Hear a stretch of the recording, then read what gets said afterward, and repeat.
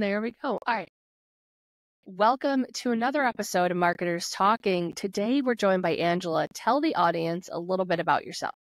Yeah, I'm Angela Frank. I'm a fractional CMO, and I specialize in helping businesses create marketing strategies that cost less and sell more. I love it. I feel like cost less is the big thing right now. It seems like everyone's moving also towards profitability instead of like this VC world where you just have endless amounts of capital to spend on whatever you want. Where do you start with building a strategy that specifically costs less to get a good return? Yeah, so the first place I always start is with the goal for the brand. And then uh, I put together a little statement of like what you're trying to achieve, right? Businesses obviously exist to make money, but they're also trying to fulfill this higher purpose. So, for example, if you're selling a toothbrush, maybe your purpose is to help the world improve their oral care or something like that, have a healthier mouth. That would be kind of the statement that will tie all of your marketing together. It's not a public facing statement, but it's something that, of course, like sales goals are important, but you're not going to be like, we have to sell 500 toothbrushes this month, right? That's not like an alluring marketing message. So, by really setting the direction of all of your marketing with a simple statement, uh, you can start to piece things into your strategy that ladder up to that statement. And then beyond that, right, because you now have your direction, you need to find where you're going to be most profitable. And so when I work with a brand, normally they're above the million dollar mark. So they have some marketing to date. And I just come in and look at all the data, see what channels are working for them, what channels aren't working, and then use some of that high level strategy that I've accumulated from working with a bunch of different brands to figure out okay, this is working. Can we take this further? Can we grow this marketing channel? This channel isn't working. Is it not working because it hasn't been given the time? Is it not working because this isn't the best place to reach the customers online? Or is there something else going on here? And then that can help determine if we need to pull back on that channel or if we need to readjust the strategy, kind of dust off what's been done to date and improve it. And then now that you have all of your channel strategy figured out, you can start connecting and making sure that everything is a super cohesive flow for your customers and prospects. You have your mission, you have your channels. Now making sure that everything is consistent. If somebody is on your Instagram, does it look like how your website looks? Are you using the same language and messaging? When they receive emails, again, is that uh, solidifying that vision that they have in their head of your brand? This is really where you take that ecosystem to the next level and create psychological safety around your brand. And that just means that you're not surprising anyone. Everything that you're doing to show up in your prospect's radar is reinforcing their image of your brand. And when you create that psychological safety, you're not giving them a reason to back out of the sale. You're only reinforcing reasons for them to become a customer. And then that is really where you unlock that power of the marketing ecosystem. I have to say, you are the first marketer I've heard talk about psychological safety. I've typically heard about it in terms of like team building and making sure your employees feel like they can be vulnerable with you. Can you dive into that a little more? How someone builds psychological safety and how you know if you've done it right or if you're missing it? Yeah, 100%. I adopted this term really from that team building um, experience that you just mentioned, Jess, where if you want your employees to be honest with you, you need to create opportunities for that to happen and then make it so that is a positive experience for them. So if they're like, hey, I messed up, you know, like I'm owning up to this mistake, you don't want to be like, well, you're on probation, here's your PIP, and like make it a negative experience because yeah. then they're not going to come to you next time. And so we're going to adopt this and apply it now to marketing where you want to continue to reinforce and create those positive experiences around your brand. And we do that by making sure one, everything is consistent. We're not surprising or uh, creating like a disjointed experience for your customers. And two, making sure that they have reasons to trust you, making sure you have frequently asked questions that you've answered, making sure that you're addressing buyers' objections, and doing all of these things in your marketing to show like, I know you might be worried about this. Here's somebody else who was worried about it, and their experience actually turned out like this. It was really great for them. And making sure that you have as many case studies, examples, questions answered that will all go and foster this increased trust in your brand. And the reason I use psychological safety is just so you you can package that up with a nice little bow, making sure that your brand is trustworthy and people feel good every time they're interacting with you online. I love that. I feel like that sounds like the thing that most brands are aiming to be. Um, it definitely makes sense to use that as a term. I will be stealing that. Um, and now you mentioned before also the marketing ecosystem. That's also a term that I really like and I don't hear a ton. Can you chat more about how you think about the ecosystem and fostering it? Yeah. So the ecosystem is uh it is a marketing term. It's just not widely used. Uh, but I love to use it. It's the topic of my book, Your Marketing Ecosystem. And the reason why I think this is a great way for you to think about your marketing is because a lot of people hear, you know, that they should be running email. So then they go out and run email and they hear that they should be running paid ads. And so they do that.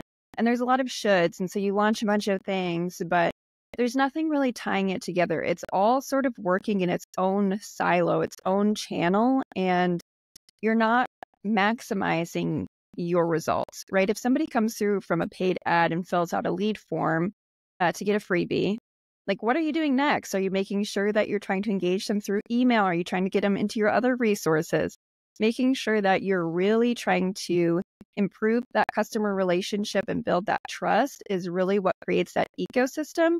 And you can see how everything starts connecting together then, right? If somebody's coming from an organic social post, same thing. You want to make sure that you have other resources and other ways for them to interact with your brand online. And it can become sort of this own buyer's journey.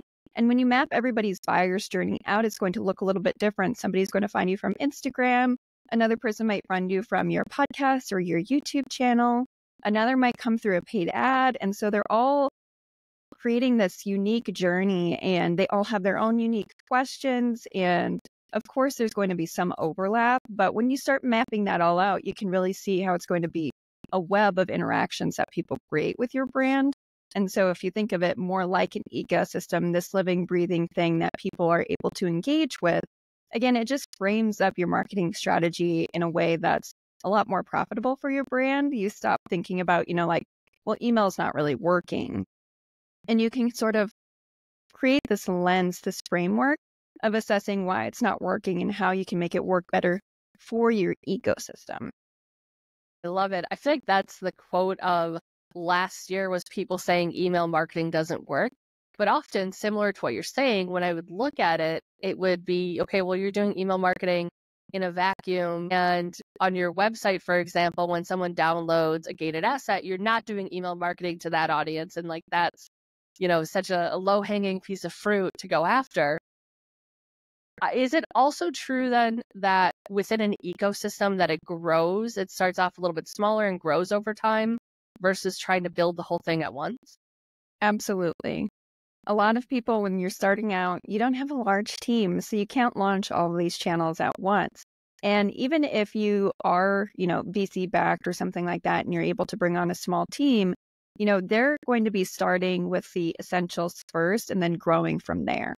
So, no matter where you're starting, if it's with one channel or five channels, this will grow and expand over time. And your brand and your team will learn oh, well, we do have this gated this gated asset and we're going to do some email marketing but actually if we include some of our video resources in there we're finding out that the conversion rate is a lot higher and so it's something that continually evolves over time grows and changes. And and that's why I love that ecosystem analogy too, because you can think of it as like a living, breathing thing, even though it's not. Um, but that you're creating for your brand and it'll change, right? CPMs on Google search are maybe like super high this year. And so we're going to shift over into LinkedIn or something like that. That's a weird example. Normally it's the other way, but um, like things change. Marketing is always changing and evolving, and therefore your marketing strategy should as well. Yeah. Now, you mentioned this is the topic of your book. What inspired you to write a book? Yeah. So I have a podcast and I interviewed someone called Mike Capuzzi, and he has this system called Shook, a short, helpful book. And I wanted to write a book. It's kind of always been something that's like been on my to do list. Like, you know, one day maybe I'll get there. but Mike made it really accessible. He basically says, you know, business books are really long. You can get the gist of it and usually the first, usually the introduction, but the first couple chapters. And so that really was like, great, I can write a book, it's accessible. That was for me. But the other benefit of the book is for people who are um, less familiar with an ecosystem and are wondering about how this strategy could work for their, their brand. And so the book is meant to be read in about an hour and have and meant to have actionable insights that you can begin implementing in your brand immediately. Walks you through my whole process in about 100 pages. That's awesome. There are so many books that when I read it, I feel that way too, where I'm halfway through it. I'm like, this book, this is all just fluff at this point. Like, we got the value. So that's awesome that there's a trend of moving towards more, I guess, condensed, like, and valuable kind of content too. We'll definitely link in the show notes below the book and all relevant links too on that side. Amazing. Yeah. And I actually do a free digital copy. So I'll send you the link um, so you can include that. Awesome when it comes to working with clients or or speaking with other marketers on building their ecosystem are there areas that you see they tend to go wrong or get kind of led astray yeah one of the biggest mistakes i see is in their channel strategy which bas- basically just means like what types of marketing you're doing um, a lot of people if they are launching ads i see them go like all in on one channel and they completely neglect all of the other places they can run ads online. And this is really dangerous because one, you become entirely dependent on one channel, uh, no matter what happens. So again, advertising is only getting more expensive. And so it comes to a point where it's not really profitable for your brand anymore, but now you don't have any other channels. And so what are you going to do? You're going to either miss out on the volume because you become entirely dependent, or you know you're just going to have this period of time where you really need to figure it out so instead of leaning all in on one channel i always recommend setting aside a small testing budget just to make sure that you're staying fresh and learning what's working in those other uh, digital advertising channels in particular since those cost money and people generally just lean into what's working and you can still put the majority of your budget in what's working but set yourself up for future success by learning what's working on the other platforms, even if it's a really small testing budget. And play on three three platforms is what I recommend um, to make sure that if something happens, you're all in on Google and Google CPMs skyrocket. Now you know you can move you to Pinterest, to Instagram, to TikTok because you've been testing in these other channels. And while they maybe aren't as great as Google, you're much more profitable on that channel. And if CPMs go up, you can then go to a different channel and you're just future proofing what you're doing in your marketing.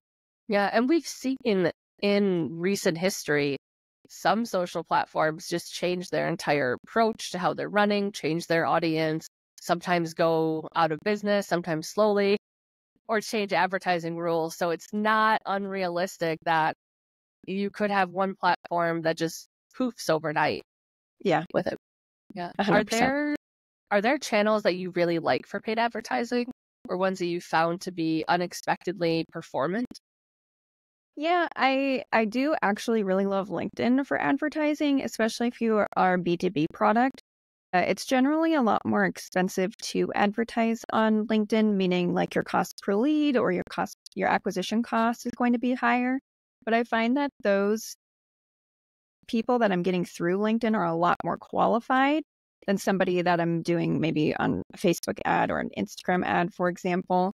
But really, my favorite platform depends on the brand that I'm creating the strategy for because different brands play really well in different arenas. There's a fitness equipment brand that I did some work for they sold like $15,000 Stairmasters. And really oh, surprisingly, oh, wow. Google shopping ads did really well for them because, you know, people were obviously looking for this type of equipment. And so if they were able to run a shopping ad with a coupon at the time, that was what was really performant.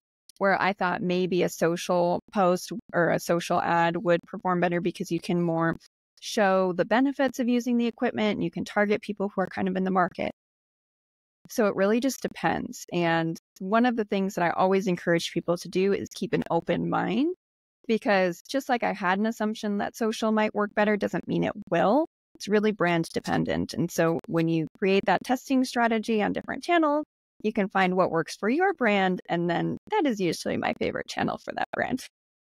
If someone is listening to this conversation and they're thinking to themselves, I really need to start building an ecosystem and differentiate and, and make sure everything's working together, do you have any advice you would give them as they would set out to build?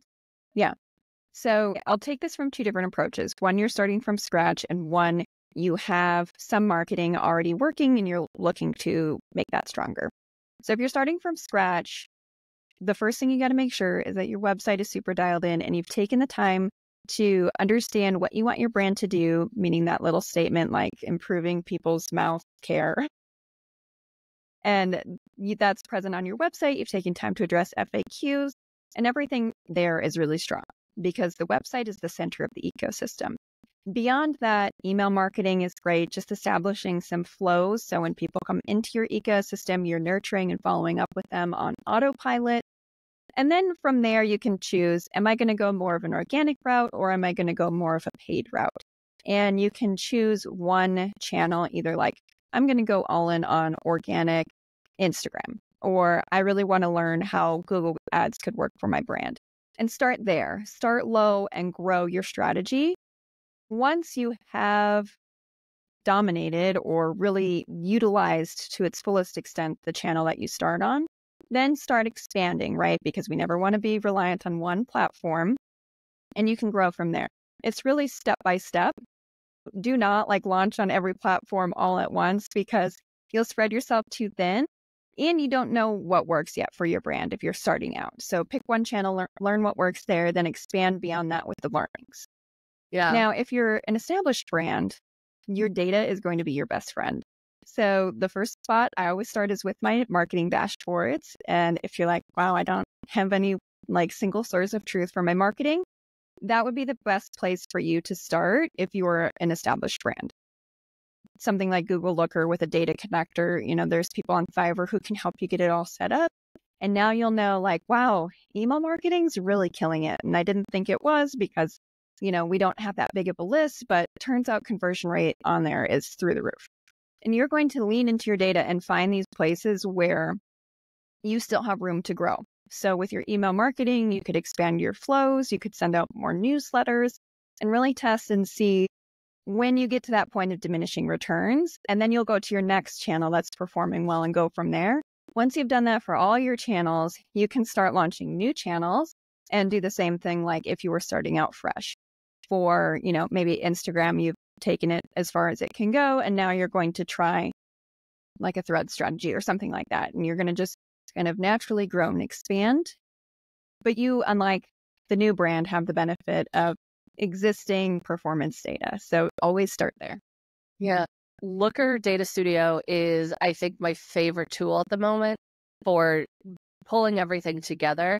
It is easy to use for those who might be intimidated by it highly recommend plus one on Looker. It's I think Google buying them and incorporating a data studio is one of the best things that has happened yeah, to reporting. 100%. Yeah. I thought Salesforce buying Tableau would give us a different world of reporting, but you know, like a decade later, nothing's changed. yeah. Google Google Looker Data Studio was a big, big improvement on that Yeah. side. The Do you other thing I love, Sorry. sorry, the other thing I love about Looker is they have like a version for smaller brands. So, like for me, we have a small team. I still use Looker, but they also have an enterprise version. So, for larger marketing teams, it also works. Whereas Tableau, I feel like really you need to have kind of a larger team to support Yeah. that because it gets kind of messy. Oh yeah. And you have to at the end of the day, I think you still have to write some SQL Yeah. just about where with Data Studio, even if you want to bring different tables together, even that process, I feel like they make it really easy to do. Yeah. It's I like, love it. do you have other tools that you enjoy and recommend? Um, one of the biggest things I always recommend is a way to manage your um, customers. So it doesn't necessarily need to be like a bona fide CRM if you are smaller, um, because those can be quite expensive. But even something like, you know, not a spreadsheet, but like, you know, ClickUp or some sort of project management that you can use as a CRM um, is super important because that just really gives you the ability to understand how people are interacting with your brand. You can set up automations to log transactions. Um, if you can afford a tool like HubSpot or something, like definitely go that route. Um, that's just not necessarily feasible for everyone. But that's one of the things that I highly, highly, highly recommend that all brands have because you just get so much more insight on how people are moving through your ecosystem. And then that can give you more data to support how you go about your marketing strategy. Yeah, Looker is amazing, but managing your customers in a database is not. Yeah. Definitely worth getting a tool for on that side. Yeah. Yeah. So once someone starts building their ecosystem, are there any recommendations or tips you have for how they can continue to keep it kind of fresh and iterate on it and upkeep over the years? Definitely. Um, I love that you asked that because this is like one of the most critical pieces of your marketing ecosystem once it's established. And I actually have a whole chapter in my book dedicated to testing and iterating. Essentially, what'll happen once you have all your dashboards set up, you have all your channels taken as far as you feel like you can take them. Now you have to set out and decide, you know, what's next. And so, of course, like launching new channels could be something, but I love to just look at all the data points and see which ones would be like game changing for improving uh, just revenue uh, generation for the business. So, for example, maybe your conversion rate when somebody clicks from an email is like great. So, but your open rate is really low. So, if you could get more people to open your email and click on the link, then you would generate like a whole bunch more revenue for your brand. And so now you get to play the game. How can I encourage more people to open the email? Does that now that more people are opening negatively impact the click through rate? Okay, great. So we've got people opening, but now we got to get them to click because we know if they click, they'll convert.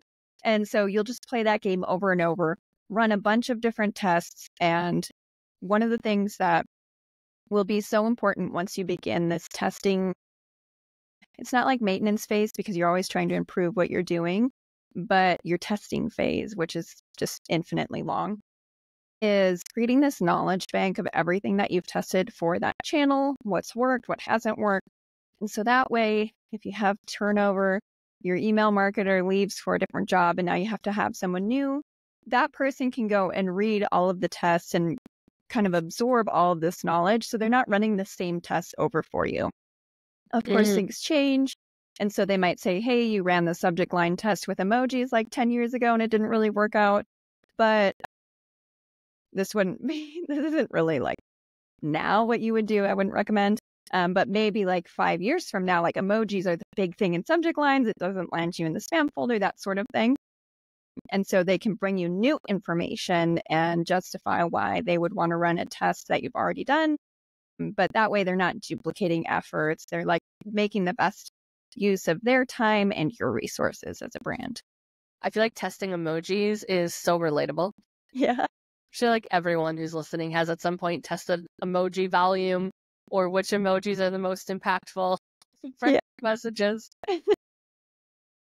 are there trends that you're seeing? Not leaning into emojis at the moment, but are there trends that you're seeing of things that have been impactful or working in the marketing world?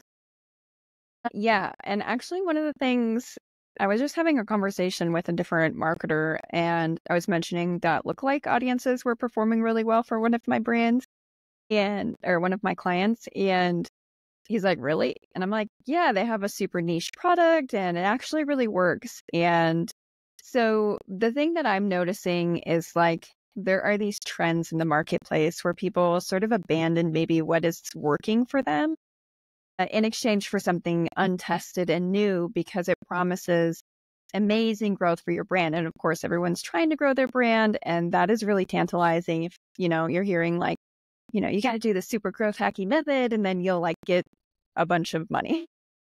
But what I always do is lean into what I see is working and then test and inquire into these new channels because it could be that it's the next big thing, but usually it's not. And so, what I love to do is just use my own experience. And again, just because my experience with one brand lookalike audiences are doing well, a more mainstream brand they're not doing well for right now. And so it's really just finding those things that work for your own individual brand.